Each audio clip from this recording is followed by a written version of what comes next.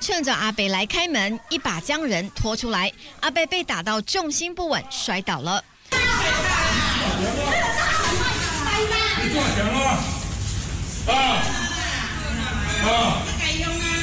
男子太太在一旁阻止，他还是不愿收手，拖着阿贝要他下跪。目击邻居大喊：“别这样！”男子似乎铁了心，就是要阿贝好看。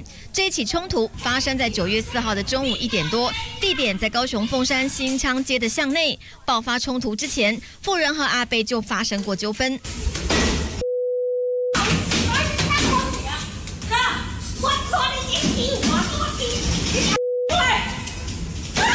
双方为了停车位多次发生冲突。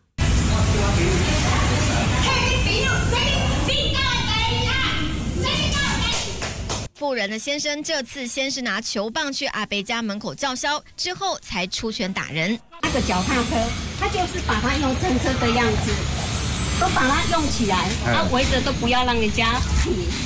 被指控的阿贝双手被打到受伤流血，脚也因为跌倒破皮，大门多处被打到凹陷。